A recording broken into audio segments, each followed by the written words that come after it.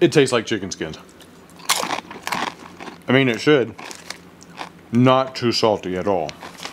But, ingredients.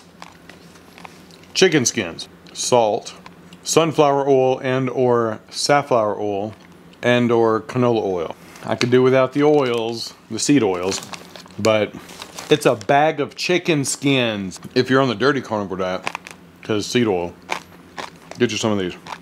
And if you're on the carnivore diet, oh, look at that, look at that. That's just, that's fried chicken skin. I grew up on fried chicken. Skin's the best part. The fried chicken skin is the best part. I'm gonna eat the whole bag.